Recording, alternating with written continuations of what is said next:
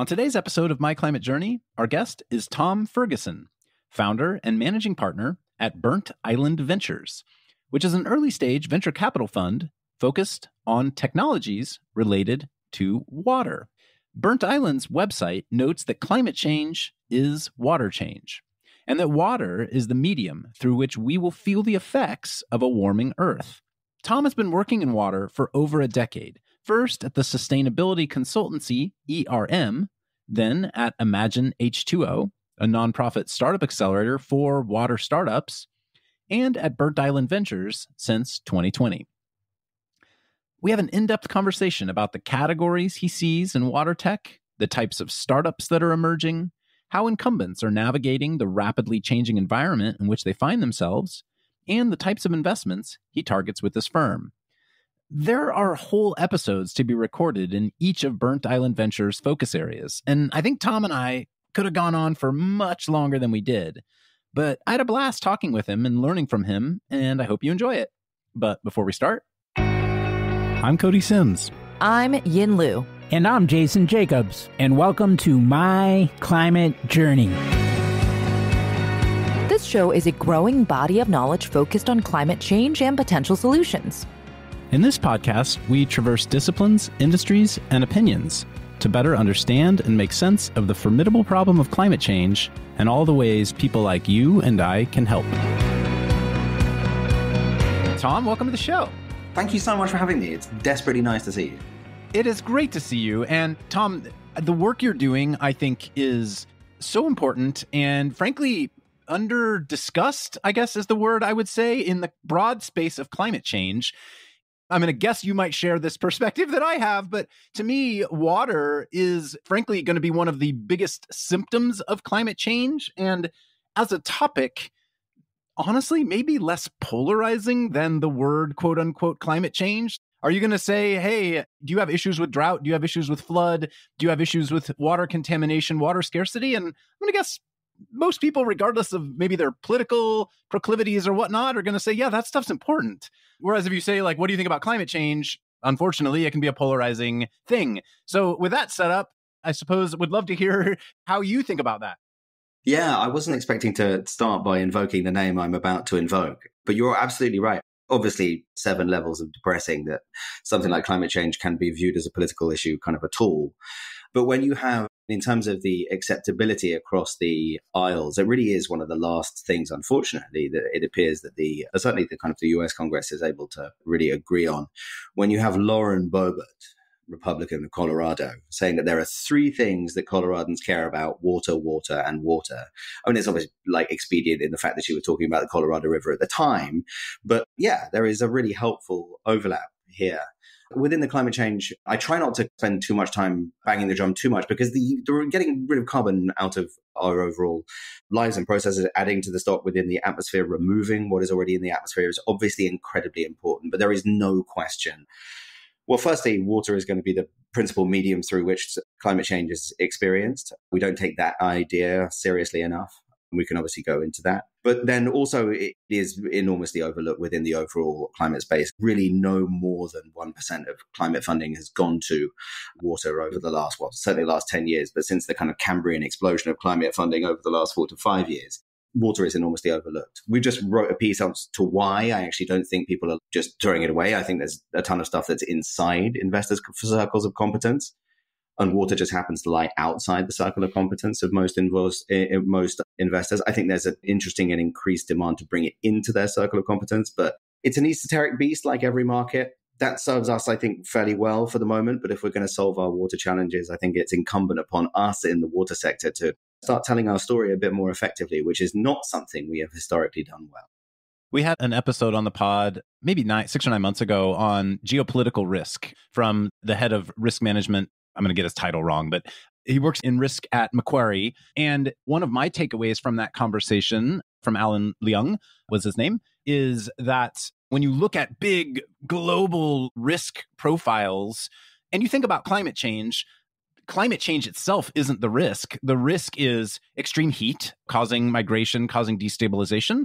And then in many cases, one of the other big risks is either too much water or too little water, flooding or drought. And when you really take a step back and look at what's causing destabilization globally and think about it related to climate change, water is obviously one of these huge factors that is going to potentially paint the global geopolitical map for the unfortunately at least the next 50 plus years or put another way our lifetimes yeah i think that's right. One of the things that i've always really liked about water is that there's nothing like a unidirectional bet if you're going to say something with 100% certainty water is only going to become more important. It's only going to become more visible it's only become a more attractive sector for the destination of dollars which is obviously you know, the heart of what we're doing. But in terms of our ability to survive in the world we in the in the global north, I guess, I'm not super happy with those kind of assignations, but in the global north, we're so lucky that we spend so little time thinking about it. When you don't have access to water, it is the first thing that you think about when you wake up in the morning. It's the first thing that you solve. But yeah, your previous guest is is exactly right. One of the things that I think is probably most overlooked is that when you have the intersection of moving populations, where do they end up going to? They end, tend to go to urban environments, and urban environments tend to be coastal. And so when you have intersection of rapidly expanding populations in urban environments on infrastructure that even if it is there, it has crumbled to the extent that it is borderline. Well, it's certainly, it's in need of some renewal. Let's just say that. But when you have rising sea levels at the same time and the increased salinity of coastal aquifers, even before you get to the ability to clean and convey the water, you're looking at quite a negatively spicy mix that you want to get as far ahead of as you possibly can. So let's continue to pull on that thread a little bit. How are our global water systems changing right now? So, to put it in some sort of context, federal funding in the US fell out of bed at the end of the 70s and has only recently started to recover. This was just one of those things that they decided to stop paying any attention to and when you're a consulting engineer and you build these kind of infrastructure assets, you know this, they're built for basically a 40 year useful life. And so the kind of corollary of that, we're sitting here in 2023, about to be 2024. It's not an unreasonable statement to say that a very large proportion of US water infrastructure, water and wastewater infrastructure has aged out. And the ASCE ratings of I think it's now C minus and D. I think there was a little bit of an upgrade thanks to some investment that's happened, but it's still this is busted. I'm from London. We subsist on really very good, but nonetheless very Victorian sewerage infrastructure. It's they've spent the last period of years basically dividending out any kind of excess cash to their shareholders rather than actually investing in the underlying assets, which was not a good idea for the overall resiliency of the system basically what I'm trying to say is that if you're thinking about essentially the quote unquote Western world, global north, whatever you'd want to call it, is that the systems that are there are precarious. So Italy, for example, loses about 48% of its drinking water that actually goes into the pipe system. Spain is north of 40. California is still, I believe, north of 20. So you treat the water, you stick it into the pipe, 20% of it falls out. In California, which we all know is not exactly well, we shouldn't be thinking of as replete with water resources. So, do we have it? Yes. Is it falling apart? Also, yes. And then you look at the rest of the world where you really don't have the best mental model for this is that this is water infrastructure that is still there to be built, essentially. A lot of it is kind of cobbled together you're putting together a specific development and then you have the pipes in the ground, but they connect to the main thing. It's not like city of Chicago or where MWRD do a really fantastic job. It's all a little bit kind of cobbled together. And so if you're thinking about the overall infrastructure, there is a real opportunity for leapfrog, exactly the same way as we've seen in the banking system and the telephony system, and the data systems and all the rest of it, is that it's a reasonably safe bet that you're going to be looking at a very high degree of decentralized infrastructure, both on the drinking water and on the wastewater side of things. Exactly how that's going to manifest is difficult. There's still a huge amount of work to be done on existing centralized infrastructure on a unit basis. It's still the most efficient way of getting wastewater and water services to people. But on a de novo basis, there is a really interesting inflection point happen where you're starting to see the advent of decentralized systems, not only in whatever you call it, global south, but also in large buildings now have purple pipe systems that involve the reuse of large, large quantities of water that come out of those buildings around and around. It looks like we're getting over the yuck factor, but that's kind of how we think about it. In general, the overall message is there is an enormous amount of work to do, whether or not you actually already have the infrastructure in place or whether you don't yet have it in place. I'm curious when you think about the subsectors of the water space, for lack of a better term. Obviously, you at Burnt Island Ventures presumably have your own thesis around this. I don't know if there's any universally acknowledged categories. I would tend to think of it as you've got access to clean water, presumably mostly for drinking or sanitation use for individuals. You have agricultural water, which is probably a different category. You have commercial and industrial water in some way, shape, or form. So those are different customers, different uses of water, I guess. Then you have the impact we face from water that may be out of our control. So drought, flood, etc. All of the risks and infrastructure inherent therein. And then you've got natural watersheds and you've got the ocean. When I think about the space, I have not spent a bunch of time drawing boxes and frameworks, but that's how I tend to think about things. I'd love to hear how you do. For sure. It's so funny. Our overall desire, I sometimes wonder whether I'm being lazy and I don't know whether I'm being too open, but our desire is people, especially within this profession, to be able to impose order upon chaos is uh is something that unifies us all i think and we and we obviously do it it's really important that we understand the verticals of, of use and various incentive structures that govern those verticals of use the levels of activity that need to be done for sure. One side thing I will do is that there are sometimes I think that this idea of this idea of VC thesis building is interesting. Is that the reality of the world is so complex. It's so complicated living out there in the world to introduce a tool into the hands of an operator of a wastewater treatment plant outside Indianapolis or something. And for me to sit here at my desk, despite the fact that I've only been doing early stage water for like eight and a half years now, even I'm like, whoa, Uh, this feels at best kind of optimistic, at worst sort of oddly intellectually. Is it out of arrogance the right word? This is the reason why we love, why we love when people walk through the door and they tell even us as water specialists about a subsegment that we immediately know is going to be big enough to hold a very large business that would be almost impossible to underwrite from a desk because they have an understanding of the reality that is almost impossible to get there. It also means there's very likely to be competition. But I'm going to shut up about that because it's one of these things that I can get so boxy about. The best way we think to think about it. So when we put it up on the, to the market slide deck, we have the drinking water side of things.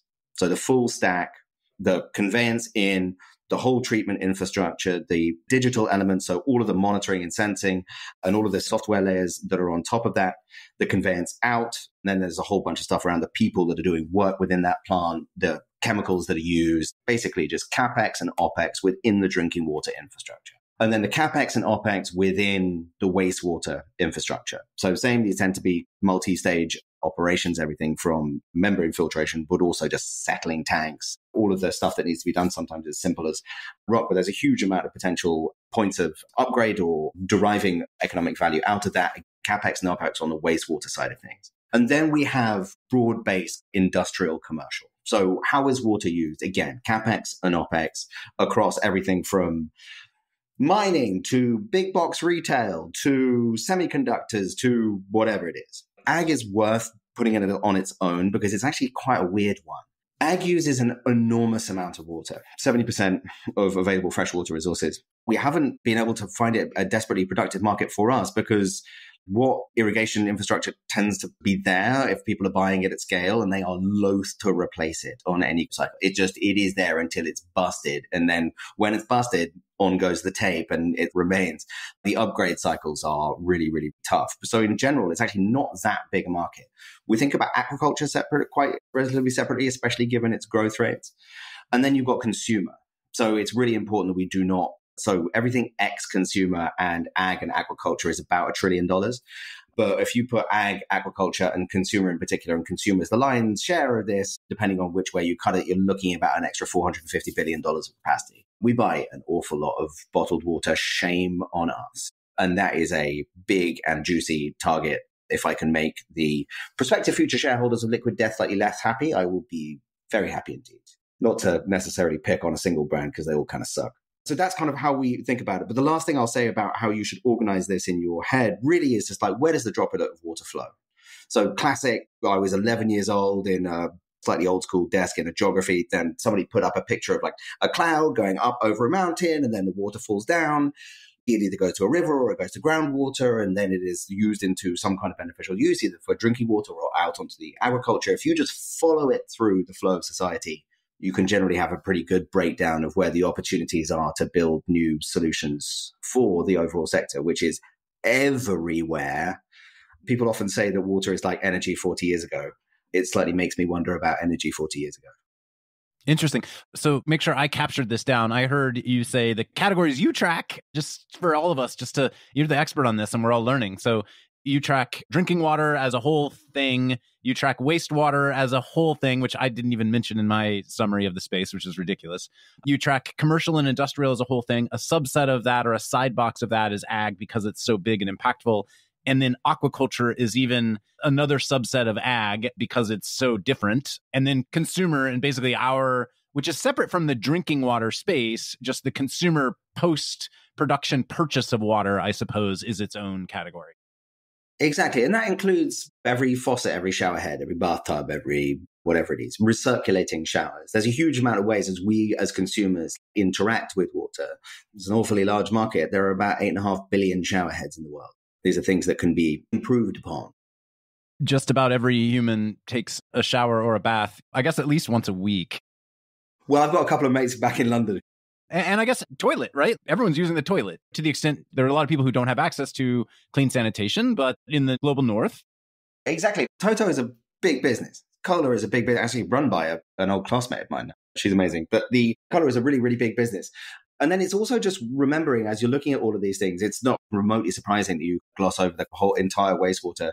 This again, it comes back to are we any good at telling our story? No, we're absolutely terrible at telling our story because everyone pay, takes it for granted. But if you actually go to a wastewater treatment site, it is an unbelievable mar- feat and marvel of engineering run by some of the most dedicated professionals that are our foundational society who do an amazingly good job unbelievably quietly and as a result don't get the resources they need to go and do that job. It drives me absolutely bananas. But it makes me very grateful to people like John Oliver who get incredibly excited when a wastewater treatment plant renamed themselves after it, renamed themselves the John Oliver wastewater treatment plant on the basis that they were both full of shit. Well, and also shame on me for leaving that category out because quite literally the pod that I recorded immediately before this episode with you is with the chief revenue officer at Sedron Technologies, which that's what they do is wastewater. So like, oh my gosh, I just spent an hour of my life diving deep into the topic.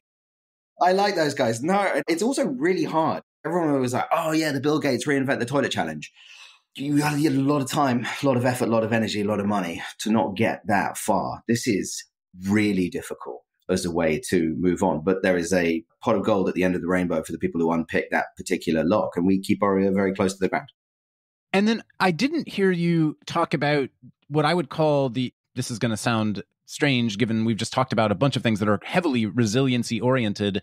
But when I think of climate resiliency, I think of flooding, I think of drought, I think of those categories. It sounds like you would think of those within the opportunity set uh, of these systems that you define it's a layer underneath all of it and it goes to digital as well. But resilience and adaptation because like for everyone else like all of us think really interesting things when happen when you get to kind of inflection points. And there are inflection points happening all over the place but resilience and adaptation as a theme is obviously a big part of where we're going to. And so what we overlay onto drinking water wastewater commercial industrial ag aquaculture consumer is okay what's going to happen when the seas rise, when the amount of water falling out of the sky gets both larger and smaller and more unpredictable. What happens? There's an insane article I was reading literally yesterday is that the overall amount of water that is being used in the Western state is going down, but the peaks are going up. Like, how the hell do you design a water system that needs to have the latency to take into account a rising peak, but where the average overall usage is going down because of the heat?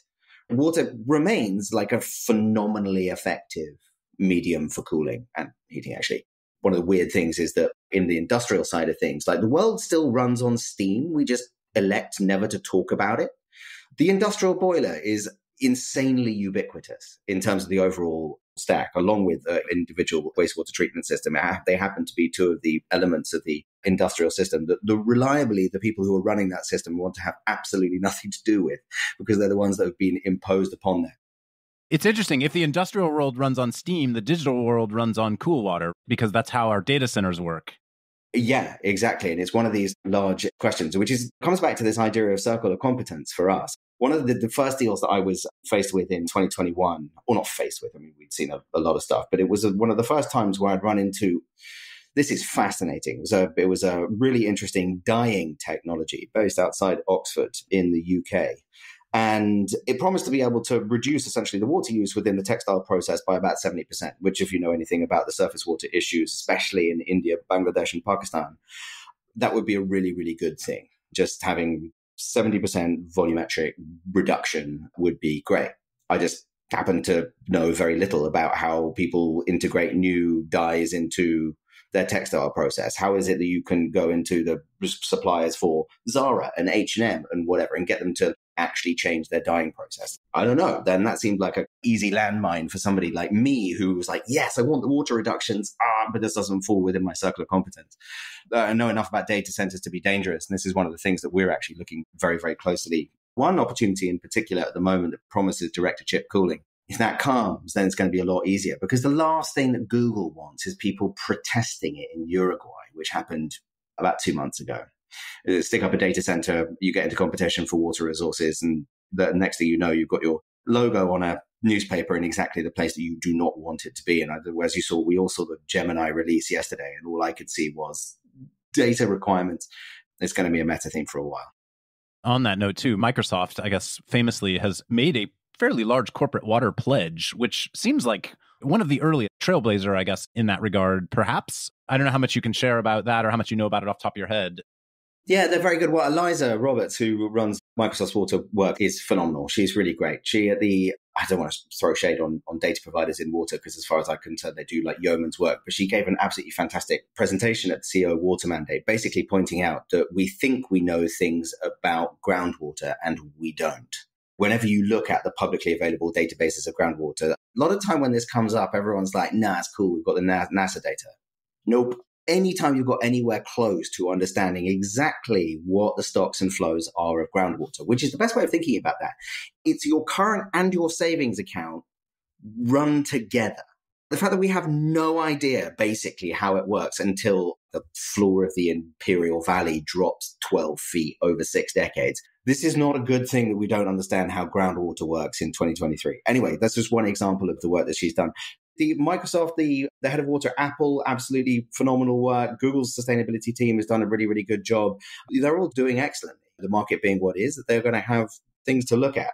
It's, it's actually a really interesting vertical. Nobody wants to be running water in and around a data center. One thing, two things that should not interact. It is unbelievably expensive NVIDIA chips and water as you're looking at things that you would want to remove things from that itself. But then it's also like, okay, like how do we have unbelievably accurate leak detection system? How are we absolutely certain about the quality of the water that is moving through the coolant system? How do we make sure that that, given that we're going to be spending so much money on pumping the water around, because water is really heavy, how are we going to make that as efficient as possible? How do we know when the pumps are going to be operating as efficiently as they can? How do we know when they're about to break so we can have more effective systems without having to build in massive redundancies? It gives you an idea of the rabbit hole of when we're looking at ourselves as water investors. All of this stuff is well within our purview. Somehow I've managed to pull us to the topic of big tech. Hi, big tech. We don't like we don't cross over with it all the time. They're a great group of professionals let's pull back from that because it's interesting in climate as well. They're doing a lot of very forward thinking work, but you compare their impact to the impact of big oil and gas or big industrial, and obviously it's smaller. And so I'm curious for you in water as well, where are you seeing large scale change being desired by incumbents? And what do these business development or commercialization pathways tend to look like? And I know we've just talked about multiple sectors and very different types of technologies required. I'm curious where you're seeing there being a lot of appetite for change today. The stuff that hits the headlines and the stuff that doesn't. Taiwan Semiconductor want to be putting it up. I'm going to say it's wrong. It's either Arizona or New Mexico. I can't remember. Probably one in each, I guess. Access to water, fundamental predicate of their siting decisions. So things like the massive expansion in all of that work, the essentially the sort of manufacturing onshoring when you're looking at everyone from Shell to Ford to whatever it is, if you're expanding your capacity, the one thing you look at whenever you look at any new plant, you know that there is a wastewater and a treatment of the water on the way in. The capacity is there. Back increasing and renewing your manufacturing capacity, everything from making cars to making Pepsi or whatever. There's just a huge amount of water that's there. So the increase in manufacturing capacity is really interesting. One of the areas that is interesting and in flux at the moment but has been a very interesting market in terms of its potential, not necessarily in terms of actually what's shaken out for reasons that I'll touch on. Domestic oil and gas is one of the things that the US is now four times the size of the producer of Saudi Arabia. I mean, this is beyond serious. I know we are both in the game of not being hugely excited about the continued use of oil and gas, but the good people of the Permian Basin, which is four times as productive as the rest one, like they just had a 5.4 Richter scale earthquake two weeks ago. It's not on a fault line. This is not cool. The degree of pressure that is there subsurface is going to be enough for the Texas Railroad Road Commission to shut down production in the Permian Basin unless you have a way of sequestering the water, which is it's another part of it. I grew up in Kansas and we have earthquakes in Kansas now. Exactly the same thing. Yeah, it's wild. That's been another driver of it. There are like a gazillion different parts of it. But then there's the stuff that really is is overlooked. There's some, still some really dumb things out there so advanced metering infrastructure. I mean, you spend a lot of time in the power world. There aren't that many power meters now that don't throw off data back to a centralized position so that it can be run from a large set of screens in the utility itself. AMI has only reached 45% penetration within water utilities in 2023. So each of those needs to be read basically by a human. AMI advanced metering infrastructure? advanced metering infrastructure. Basically, the way would you say is that like throwing off the we just have dumb meters. It's absolutely insane. We're looking at pain points against which you can build business cases. There was a period in 2022 where the city of Houston had a 21% vacancy rate in its water utility. So one in five people were not sitting in their seats. These are not tons of fat everybody's just pushing paper around organizations. These are run very, very lean. They have very low budgets. And if you've got one in five people not sitting in their seat, you need to basically transform the way in which you're running that thing because they can't hire. They're not competitive in terms of what pay people. So the it comes to do, okay, we need to do more with less. And that is really interesting for a whole bunch of things, especially on the software side of things. Just as an aside, I bumped into a guy who I really like, who runs Delta Diablo up in the sort of north of the Bay Area. And he had more or less changed his personality. He used to be sort of very tie by the book, wandering around in a beautifully pressed grey suit and blue shirt and a tie and all the rest of it, and. And I saw him and he had an open neck collar, wasn't wearing a jacket, he's grown a beard, his hair, his hair had gone a bit longer. And I was like, I mean, so what's the deal? Are we microdosing or what's going what's going on? And he was like, Yeah, the way in my leadership style wasn't working for my utility anymore because we couldn't hire people to do the job. And so what I needed to change the culture to something that was far more entrepreneurial, far more stray outside your lane, far more just we need solutions at all the time. And me running rule books over the time was getting in the way. So I had to relax. It's fascinating. Hey everyone, I'm Yin, a partner at MCJ Collective, here to take a quick minute to tell you about our MCJ membership community which was born out of a collective thirst for peer to peer learning and doing that goes beyond just listening to the podcast. We started in 2019 and have grown to thousands of members globally. Each week, we're inspired by people who join with different backgrounds and points of view. What we all share is a deep curiosity to learn and a bias to action around ways to accelerate solutions to climate change. Some awesome initiatives have come out of the community. A number of founding teams have met, several nonprofits have been established, and a bunch of hiring has been done. Many early stage investments have been made, as well as ongoing events and programming, like monthly Women in Climate meetups, idea jam sessions for early stage founders, climate book club, art workshops, and more. Whether you've been in the climate space for a while or just embarking on your journey, having a community to support you is important. If you want to learn more, head over to mcjcollective.com and click on the members tab at the top. Thanks and enjoy the rest of the show.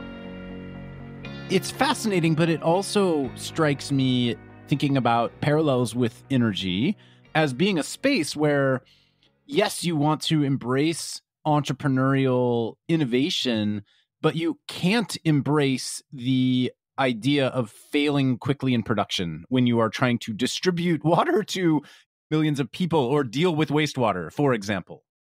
Yeah. Eric Ries is an amazing guy and he's done a huge service to the overall SART. It doesn't work in water, especially not in drinking water. So our third partner who just joined us at the beginning of last month is a wonderful guy called Steve Close, who's been investing in water for a very long time.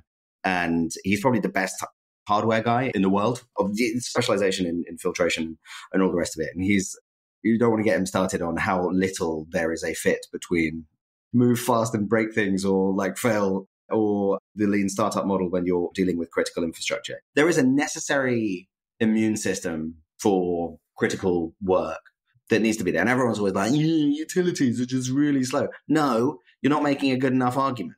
They know their job. You can't sit there as an entrepreneur and complain that utilities are too slow when you haven't been able to unpick the problem of their incentive structures. Those that do, do very well. And is there an inbuilt advantage to incumbents who are doing essentially incremental innovation just to like one foot in front of the other, taking advantage of their go to market pathways? Absolutely. These relationships count for a huge amount because the relationships are built on time and trust, which neither of those startup have. But there is a ton to aim at. But I think the corollary or the implication of what you said is that utilities are always going to be slow. It's just not true. The Doppler, who are our largest holding in Fund One, they're an emergency response management system. They're a Techstars company too. I've been involved with Bob Doppler in my past. Texas, Kansas City. John is amazing. I was just with them last week. He's done an extraordinary job. Amtrak just reached out cold.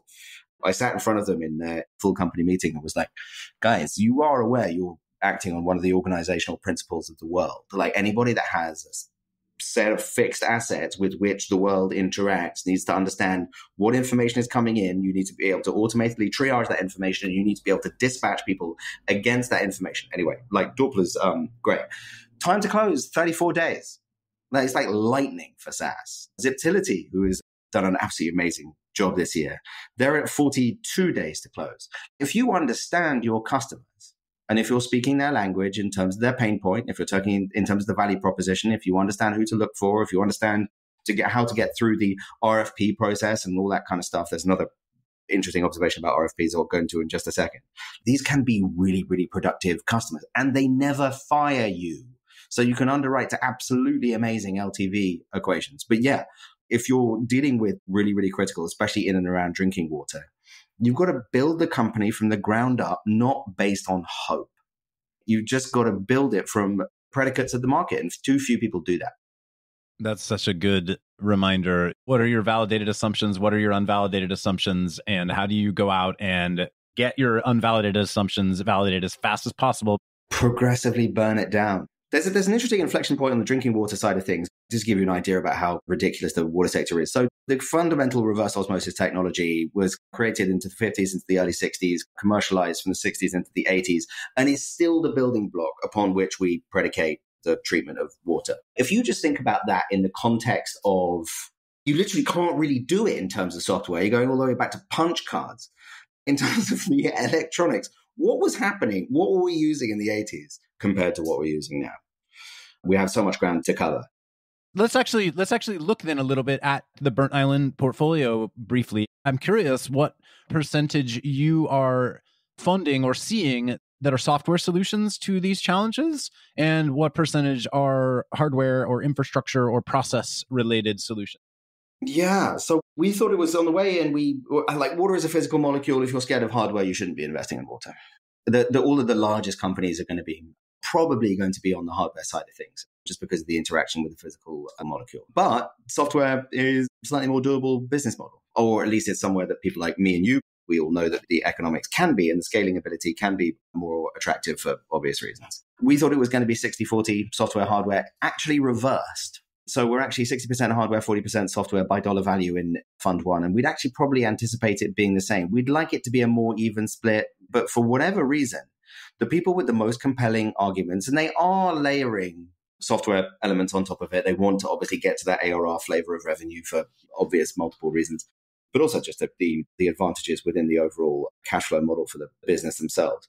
But we were slightly surprised by our overall I mean, it wasn't really willingness. With a lot of the hardware stuff, the check was dragged out of our hands. It's like when you ask yourself, is this the best overall argument for a business that we have seen so far? The answer was just yes. Our last check was into a company called Irrigreen, run by a fantastic guy called Shane Dyer. real IoT veteran. They basically rebuilt the sprinkler from first principles. Slightly apocryphal story, but the one of the CTO is is one of the godfathers of inkjet printing. He's responsible for an embarrassing amount of the IP in any given inkjet printer. And sort of looking out of his kitchen window, he watched his sprinkler merrily throwing water onto his driveway. And he was like, I can get the tiniest dot of yellow ink to the most improbably precise location on a piece of paper in a plastic box and do that reliably for years. And I have something that's throwing a droplet onto concrete. This is insane.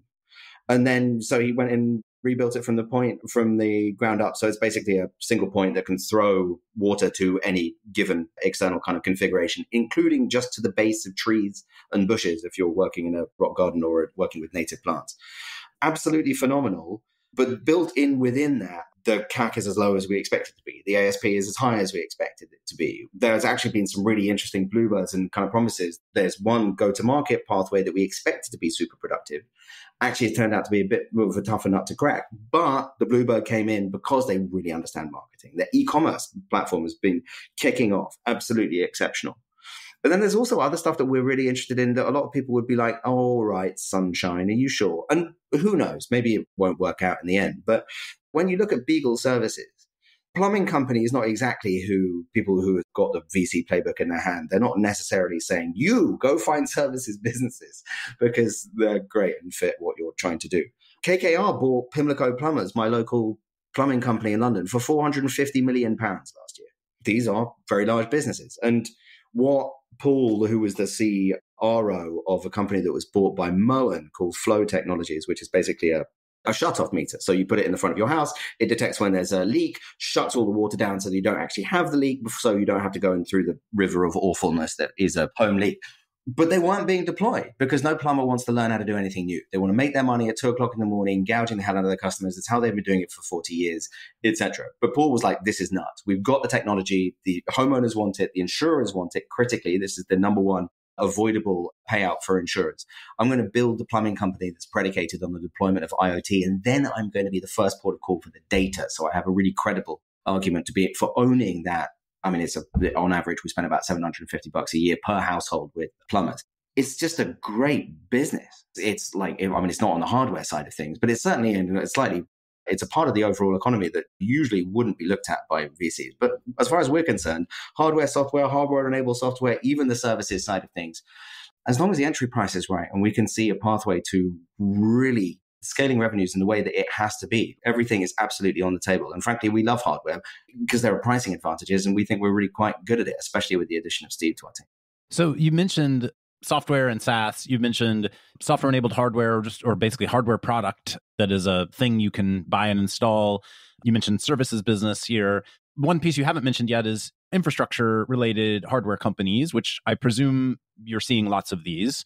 And one area I'm curious about in that regard is in the climate space, there's a lot of conversation right now on first of a kind financing and how do these more infrastructure oriented hardware companies get their first plant financed. They may have $50 million in LOIs, but until they build a facility, like it's a piece of paper. In the energy space and in the industrial space, you're starting to see large corporations step up and provide some project financing in addition to maybe equity. You're starting to see some specialty funds emerge in that space, but it's still pretty undefined. I'm going to assume water is similar, but you tell me otherwise. It rhymes. So, I mean, in terms of our own underwriting, I mean, it's not like we need to, we don't need to put in, I don't know what the equivalent would be, either like a Solugen plant. We don't need that level of I mean, some companies do for sure. If you're doing like supercritical water oxidation at scale, at the utility scale, yeah, we run into exactly these things. There is a risk profile there that is quite difficult for us. We've uh, found it quite difficult to make the case that it is there. But in terms of the first of a kind financing, the first part of it is that if you're going to run into something that needs it, you've got to make sure that you have the depth on the balance sheet to be able to really do it yourself, basically. This is something that we've really kept in mind, and we've been lucky to work with some really wonderful financing partners on all three of them. Zwitterco, and Aclarity just on on 15.6 million series A, you've got to have the capacity to be able to build whatever it is on your balance sheet straight out the gate. We all obviously all love what Jigar and the team are doing at the loan programs office. They are not allowed to invest in water infrastructure.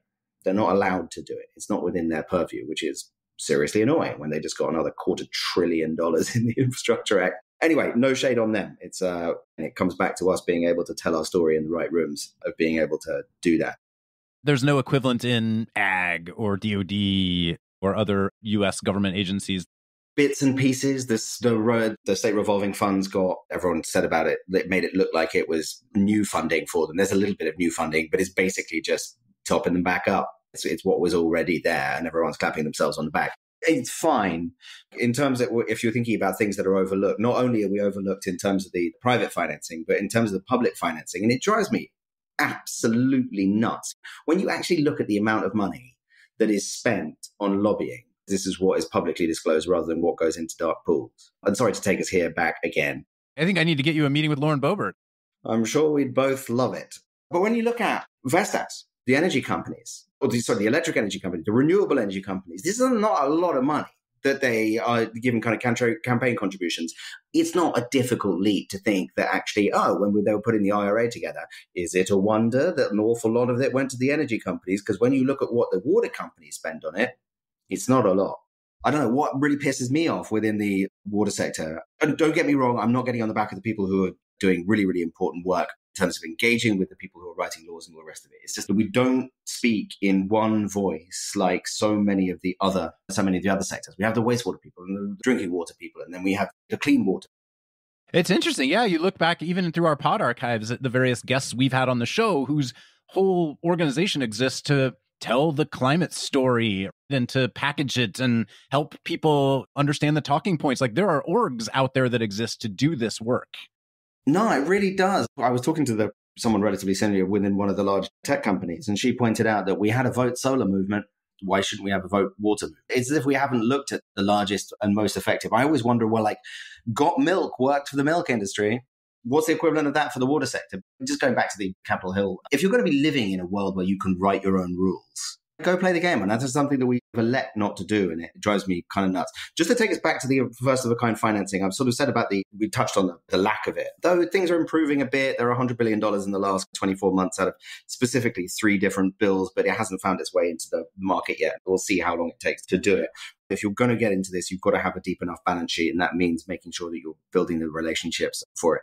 But then the other ones, unit economics help an awful lot. Enline systems, basically, they fit to industrial boiler to replace a pressure step down unit, which are prevalent on all industrial boilers. This is the intersection between the water, well, we call it the water energy nexus. They're operating at about kind of 60 to 80% efficiency. But what's a real killer is that they're just really profitable on unit basis. They have 55% gross margin and they get 50% of the cost of the unit up front, which means that they're not embedding a whole bunch of equity cash in stuff. One of the most effective, actually, interventions within the water sector, a wonderful pair of people called Neil Berman and Linda Heitzman. They run something called Bertzman Social Ventures.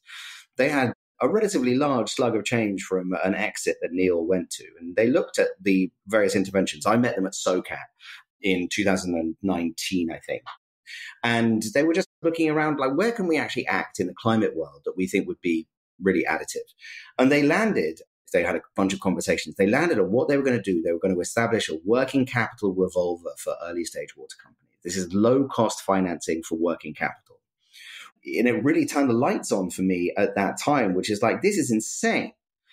We turn equity capital into circuit boards and pipes and joiners and bolts and whatever it is. And then it sits there. And then hopefully sometime, I mean, depending on your sales cycle, we're going to be able to turn that back into cash and then we can use it again. This is just like a weird tax on company building where we could be spending it on far, far more productive elements of our activities. And that's what that's what Bertzman's intervention helps to do specifically for water companies. And I think this is one of those interventions that are reasonable level now, but you could multiply it by a thousand and still be enormously oversubscribed. We should all think about the provision of that kind of support. Well, thanks. I mean, between that and between highlighting the work that you think is gapped right now on lobbying and storytelling, hopefully you've given folks who are listening who are interested in this topic some ideas of ways they could potentially contribute to the problem that you're working on here, which is what we aspire to do is help people find different ways they can contribute yeah, here's hoping. there's an awful lot to work on. I've got to say, like, one of the things that water has a habit of grabbing people and not letting people go. I started on it in 2010. I specialized this in 2015. It's a really wonderful place to work. Everybody appears to be really rather nice and friendly to each other and very cooperative. I found the same thing when doing early stage companies in San Francisco and now in New York. And it's just great to be part of these kind of two communities that are so relentlessly supportive of each other. There's a lot of work to do. So if anybody's interested, you should have a look. Water's a great place to build a career. Tom, let's chart your quick path here and how you ultimately decided that for profit venture investing was the pathway for solving some of these problems, because that wasn't the orientation you started into this space with, as far as I understand it. Yeah, no, I wasn't. So I got my start in, I was a sustainability consultant. I wanted to dedicate my whole career to sustainability. This is at the end of 2008 into 2009. And so I thought the best vantage point was in a consulting firm. So I joined ERM, who are great really awesome, uh, lots of great relationships still there. I was the cheapest person in the building in 2010 when they did a pro bono project for the Carbon Disclosure Project, writing their first water disclosure report. And so they gave me the thumb drive and were like, make sense of this. And so I wrote that. And then anyway, this is sort of fast forward five years after spending quite a lot of time working on around water things, the opportunity came up to join a non-profit accelerator called Imagine H2O, which is an amazing impact organization. And I had a really phenomenal time there. I ran the accelerator for five and a half years and it just, it gave me kind of a vantage point. And I realized at the beginning of 2020, the two things were true. Firstly, I had access to a data set that basically no one else in the world did. I had a really differentiated point of view on the clear answer to why now? Why is this a good time to start a seed fund? Boy, that is exactly my experience having been at Techstars for so long and seen the climate tech movement take off. So I, I am right there with you on that one.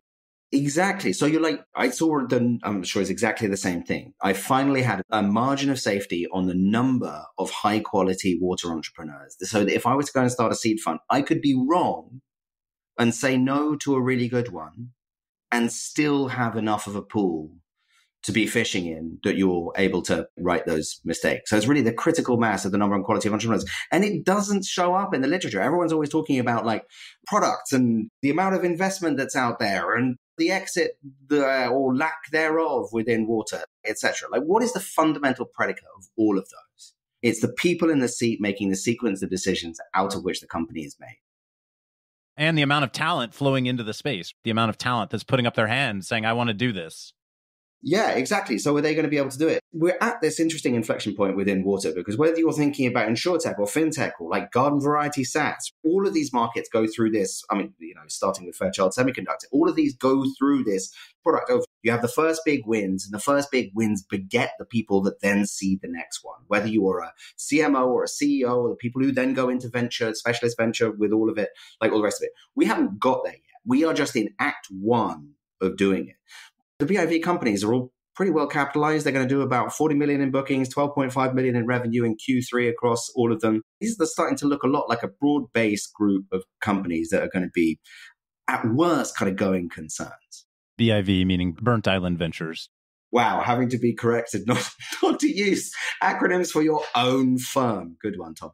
Yeah, this is the vanguard. There have been some like really fantastic founders before, out of which a lot of the talent that we're working with at the moment have come out of. But you're going to see the this is the advent of the overall building of the entrepreneurial ecosystem that will stand water in good stead. We just think we're right at the beginning of it. And founders who are interested in working with you want to understand how you operate, maybe just break down a little bit about what you look for, what stage, what size of investment you're tending to make, et cetera. Yeah. So for the second fund, we've got a 2.5 million circle around each company. How we break that up is basically predicated on where you are and what you're doing. We want to be as early as we possibly can. So pre-seed is going to be a concentration, but it's if we can't get 750 to 1.25 million into that company at the pre-seed stage, then we'll size down and it's obviously going to be relative to it. So we're very flexible within it. But ideally, we're looking to park about ooh, 600K to 1.25 million per company. We've got a very concentrated portfolio. So we've got 20 companies that are going to be the investees for or the portfolio for fund two. So I'm hearing primary entry point is pre-seed. Ideally, pre-seed. Seed is the sweet spot. We flex down a little into Series A, especially later in our deployment period for time for company building reasons. But anywhere between pre-seed and Series A is we you're definitely on our radar. And we may be able to flex even further down from that depending on what happens to us in 2024, but TBC. So that's what we're trying to do. And then in terms of what we're looking for, we are big believers that entrepreneurship is just a sequence of decisions and the quality of decision maker is, is the thing that makes the fundamental the market's got to be there and the prospective product's got to be there. But really we are very much kind of team and especially founder focused at the, at the seed fund. But really there's a reason why we ask people to write on our website the first time round is that amazingly if you cannot articulate the depth of the pain the value proposition that you plan to provide in order to solve at least some of that pain and then articulate the product that is going to deliver that value proposition in response to that pain, you're putting yourself in the top 5% of stuff that we see. And that's literally what we ask for on our website, plus a little bit of your progress so far. And we want to know what the team is because the team is going to identify the pain, diagnose the value proposition, then build the product to deliver the value proposition in response to that pain. If you can do that, you've got our ears because it is really oddly rare everywhere. And I don't think that's just a problem in water. But of the things that we're really interested in, resilience and adaptation is a big one, decentralized drinking water and treatment. We're really interested in software that can especially look at services that are provided by consulting engineers. At the moment, there's an awful lot of work that's being done on a time plus a margin basis that we think really should be done by software. We're very much interested in filling in the gaps in the base of data within water. So, quite a lot of hardware enabled software we think is going to be quite interesting for us. And then, if you're just making something dumb smart, there is so much infrastructure out there in water where it's just like, wow, are we really using this? That's often turns our, our heads. But we're very easy to find. You can literally apply to be considered by us through our website. Just go to the for founder section and fill in your details. And for people who want to hear more of your thoughts on what's going on in the space of water, you've also just launched a podcast. Yes, absolutely. The obligatory VC podcast. And in our trailer for it, there is the line in some respects, we're sorry. But we really do think that we're here to find, fund, and support the best entrepreneurs in water globally. Finding and funding them, fine, but supporting, like it's in our interest to be able to allow everybody who's building a water company to have access to a library of the best people to ever do the job. And people who can elucidate the nature of the incentive structures within business, people who have run large companies within water, people who have started small companies in water, people who have failed to build small companies in water we just want to build a compendium of insight to be able to do that. So it's called The Fundamental Molecule. We have two episodes out now, one with Bessie Schwarz, who is the awesome founder of Floodbase. A co-investment with MCJ, I should I should mention. Absolutely, it is a co-investment at MCJ. We're all big fans of uh, Floodbase. Really great name check from Samantha Power at COP today. Floodbase's work. Yeah, really cool. And then the other was with Mirka Wilder, who has now just been hired by Bain Capital Double Impact to run Aqueous Vets, but she took De Nora through their IPO. And she's a phenomenal, very, very talent focused uh, so that's where we are. And then we're very active on our blog. The blog is great. If you didn't understand what the hell we were talking about, we do have a blog on there called What Do We Mean When We Say Water, which is quite helpful. And if you're interested in the overall business case, we've just published a piece that's really about especially for the impact investment community. We're very active in the Confluence community, and, and Align Impact was very generous to publish this one as well. But it's really making the basic argument that climate change is coming and climate change is water change. And the sooner we act accordingly, the better. So you can find out all of the stuff there. Plus, I'm embarrassingly easy to find. You can just find me at tom at burntislandventures.com. Where did the name Burnt Island Ventures come from? Haha, because I think all of the islands are going to be on fire. No, that's not what I think. No, it. So I think names are really important. We use them all the time, and every time that we use them, it has some kind of mental association. So you may as well make it positive. And you see behind me there, there's a. Well, your listeners can't hear it, but behind me is a picture taken from my favorite viewpoint in the world, which is just above the village of Tighnabruaich in western Scotland. It's about two hour drive west of Glasgow. And it looks down the East Kyle of the Kyles of Bute, which is an impossibly beautiful place on the west coast at the mouth of the East Kyle, which is basically just a body of water in between the island of Bute and the mainland, are three islands that stand sentinel, that are very, very narrow channel that boats can get through. And I think they're amazing. I suppose we spent all, all of my youth swimming around them and jumping off them and all the rest of it. But they kind of stand sentinel at this extraordinary passage of water. And they've watched the tide come in and go out for six hours a day for thousands of years and there's something deeply permanent and beautiful about them. And I suppose just at the bottom of it, it sort of reminds me of home. And it tends to engender the question, which I think is helpful. Are they called the Burnt Islands? They're called the Burnt Islands. There are a few of them. There are also some burnt islands off the coast of Maine. There is a burnt island opposite Edinburgh, which is often what is confused for.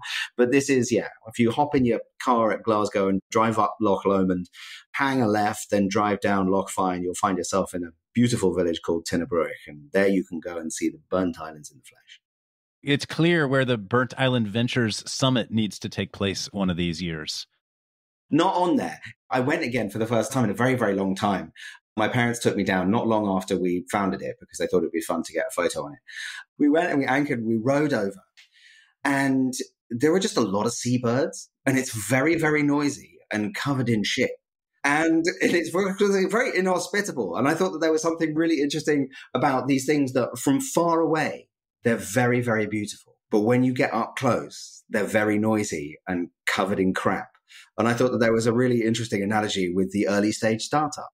Tom, that's a great note to end on. I don't know if you have anything else to add, but. No, I don't. It's really, really kind of you to have me. Thank you so much, Cody. I really appreciate it. I learned a ton, and thanks for joining us. Brilliant. All the best. Thanks again for joining us on the My Climate Journey podcast.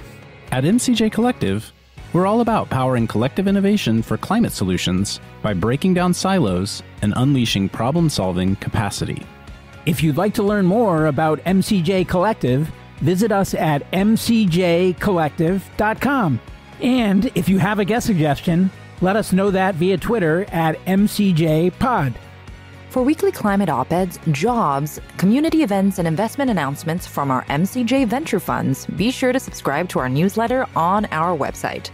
Thanks, and see you next episode.